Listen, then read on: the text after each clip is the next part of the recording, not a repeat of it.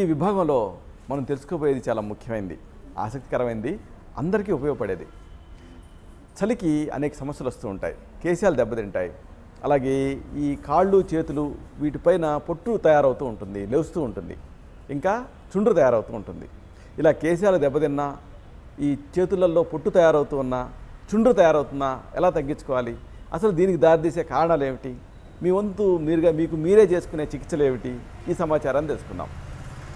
శీతాకాలపు చర్మం అనేది మీరు గమనిస్తే మామూలు చర్మంలాగా ఉండదు. కాంతి తగ్గుతుంది చలికాలంలో. అలాగే చేతుల్ని గమనించుకోండి పొడిగా తయారవుతాయి. తయారయ్యి ఇక పొట్టులా తయారవుతూ ఉంటుంది. ఇంకా తల మీద కేశాలలో తడి ఆరిపోతుంది కాబట్టి డ్రై డాండ్రఫ్ అంటే చుండు తయారవుతుంది. ఇవన్నీ కూడా ఈ శీతాకాలంలో కనిపించే ప్రధానమైనటువంటి సౌందర్య సమస్యలు. ఎందుకు ఇలాగా? అంటే శీతాకాలంలో గాలిలో తేమ తగ్గుతుంది చలికాలంలో. అలాగే దప్పిక వేయదు. వేయదు కాబట్టి ఇక నీళ్ళు తాగరు. నీళ్ళు తాగడం తగ్గుతుంది. దీంతో చర్మం తడారిపోతుంది. దీనికి తగ్గట్టుగా ఇంకా అనేక రకాల సమస్యలు వస్తూ ఉంటాయి. అలాగే లక్షణాలు కనిపిస్తూ ఉంటాయి. ఎలాంటి లక్షణాలు అంటే చర్మం మీద ఏమాత్రం మెరుపు ఉండదు. డల్గా ఉంటుంది. అలాగే చేతులు అలాగే కాళ్ళు పొడిగా తయారవుతాయి. పుట్టు తయారవుతూ ఉంటుంది. ముఖ్యంగా దురద ఉంటుంది. అలాగే అనీజీగా అసౌకర్యంగా ఉంటూ ఉంటుంది. ఇంకా ఈ కేశాలని మీరు గమనిస్తే బాగా డ్రైగా ఉంటాయి. పొడిగా తయారవుతాయి. అలాగే పొడి చుండు కూడా తయారవుతుంది. ఇలాంటి అన్ని సమస్యలని తగ్గించుకోవాలి మనం. ఎలా? వరుసగా తెలుసుకుందాం. మొదట ఔషధం. ఇది చర్మ కాంతికి ఉపయోగపడుతుంది. స్నానం కోసం వాడేటటువంటి చక్కటి ఔషధం. అంటే స్నానానికి ముందు వాడాల్సినటువంటి అనులేపనం ఇది. స్నానం చేస్తాం. కానీ చాలామంది గమనించే ఉంటారు స్నానం చేసేటప్పుడు బయటకు వచ్చిన తర్వాత ఆ తడి అంతా ఆరిపోయి ఇంకా చర్మం పొడిబారుతుంది కాబట్టి అలా తడి ఆరకుండా ముందుగానే స్నానానికి ముందు ఒక అనులేపనంగా మనం వాడుకోవాలి. దీనికి మీకు కావాల్సిన పదార్థాలు దోసకాయ గుజ్జు. అంటే గ్రైండర్ జార్లో చెక్కు తీసినటువంటి ఈ దోసకాయ ముక్కలు వేయండి. గ్రైండ్ చేయండి. అప్పుడు గుజ్జు తయారవుతుంది. ఇలాగా ఈ దోసకాయ గుజ్జు ఒక కప్పు సిద్ధం చేసుకోండి. అలాగే చక్కటి పెరుగు దీన్ని కాస్త బీట్ చేయాలి. బీట్ చేసి హోమోజినస్గా తయారు చేసి సిద్ధం చేసుకోవాలి ఒక అరకప్పు. ఈ రెండే. ఒక బౌల్లోకి ఈ రెండు పదార్థాలని తీసుకోండి. అంటే ఒక కప్పు దోసకాయ గుజ్జుని తీసుకోండి. చెప్పుకున్నాం కదా పైన అంతా చెక్కు తీసి ఆ గుజ్జుని గ్రైండ్ చేసి పేస్ట్లా తయారు చేసుకోవాలి. అలాగే అరకప్పు పెరుగుని కూడా తీసుకోండి. రెండు పదార్థాన్ని బాగా కలపండి.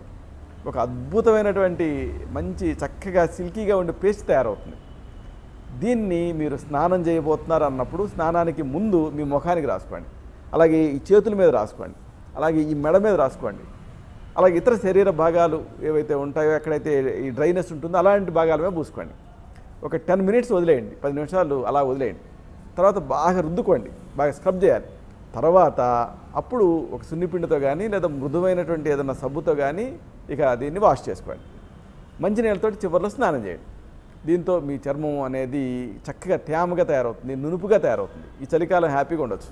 ఇక మరొక ఔషధం. ఇదేమిటి అంటే ఈ పొడిబారినటువంటి చేతుల్ని మరమ్మతు చేస్తుంది. చలికాలం ఇలా జరుగుతూ ఉంటుంది చేతులు పొడిబారుతాయి. అంటే పొట్టు లేస్తూ ఉంటుంది. దానికి ఒక చక్కటి ఔషధాన్ని మనం ఈ లేపన ఔషధాన్ని తెలుసుకుందాం. దీనికి మీకు కావాల్సింది చాలా సింపుల్గా మీరు ఈజీగా సమకూర్చుకోవచ్చు. పెరుగు ఒక కప్పు అలాగే నిమ్మరసం ఒక టేబుల్ స్పూన్ ఇంతే. ఈ రెండు చాలా తేలిక కదా మీ ఇంట్లో ఉండేవే. ఒక బౌల్లోకి ఈ పెరుగుని ఒక కప్పు తీసుకోండి. పెరుగుని ఎప్పుడు కూడా మనం ఎప్పుడు ఔషధం తయారీకి వాడాలనుకున్నా కానీ సౌందర్య సాధనంగా వాడాలనుకున్నా కానీ బాగా బీట్ చేయాలి. అంటే బాగా గిలకొట్టి దాన్ని ఒక మృదువైనటువంటి హోమోజినస్గా ఉండేటటువంటి పేస్ట్లా తయారు చేసి వాడుకోవాలి. ఇలాగ పెరుగుని తీసుకోండి ఒక కప్పు. అలాగే ఒక టేబుల్ స్పూన్ దానికి నిమ్మరసాన్ని కలపండి. నిమ్మరసాన్ని పిండాలి ఫ్రెష్గా. ఒక టేబుల్ స్పూన్. రెండు పదార్థాలని కలిపి బాగా గిలకొట్టండి. ఇప్పుడు మీ రెండు చేతుల్ని ఇప్పుడు ఈ పదార్థంలో ముంచండి లాగా లేకపోతే ఆ పదార్థాన్ని తీసుకొని పేస్ట్లా పూసుకోండి. ఈ వేళ్ళ కణుపులు ఉన్నాయి కదా ఇక్కడ ఎక్కువగా బాగా డార్క్నెస్ ఉంటుంది. కాబట్టి ఈ వేళ్ళ కణుపుల మీద పూసుకోండి. అలాగే రఫ్ స్కిన్ ఎక్కడైతే ఉంటుందో అక్కడ అంతా రుద్దుకోండి. రుద్దుకొని బాగా మసాజ్ చేసుకోండి. పది నిమిషాలు ఆగండి. తర్వాత మామూలు నీళ్ళతో కడిగేసుకోండి. ఇది ఈ వేడి వల్ల ఈ చలి వల్ల అయ్యేటటువంటి చేతులు దెబ్బతిన్నప్పుడు రాలేటటువంటి ఈ ఈ స్కేలింగ్ని తగ్గిస్తుంది. అలాగే డిటర్జెంట్ సబ్బులు వాషింగ్ పొడులు ఇలాంటివి చేతులకి తగిలి అప్పుడు ఆ మండుతున్నప్పుడు కూడా చాలా బాగా ఉపయోగపడుతుంది. దీంతో చేతులు తిరిగి కోమలంగా తయారవుతాయి. ఇక ఈ చలికాలం మరొక పెద్ద సమస్య చుండు తయారవటం. చుండును కూడా తగ్గించుకోవాలి. లేకపోతే మాటి మాటికి దురదగా అనిపిస్తూ ఉంటుంది. ఇక ఆ దురదను తగ్గించుకోవడానికి శక్తివంతమైన షాంపూలు వాడతారు. ఆ షాంపూలతోటి మళ్ళీ రిబౌండ్ ఎఫెక్ట్ తోటి దురద చుండ్రు ఎక్కువ అవుతాయి మరి ఏం చేయాలి? దీనికి ఒక సహజమైనటువంటి చక్కటి మీరు తయారు చేసుకోగలిగేటువంటి ఔషధం ఉంది. మెంతి పిండి ఒక టేబుల్ స్పూన్ సిద్ధం చేసుకోండి.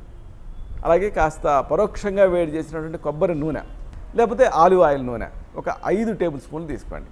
ఇలా సిద్ధం చేసుకోండి. వీటిని ఉపయోగిస్తూ ఈ చుండును తగ్గించుకోవచ్చు. ఒక స్టీల్ గిన్నెలో ఐదు టేబుల్ స్పూన్ల కొబ్బరి నూనె కానీ లేకపోతే ఐదు టేబుల్ స్పూన్ల ఆలివ్ ఆయిల్ని కానీ తీసుకోండి. దీనికి ఒక టేబుల్ స్పూన్ మెంతి పిండిని కలపండి. ఇప్పుడు సిమ్ మీద కాస్త వేడి చేయండి.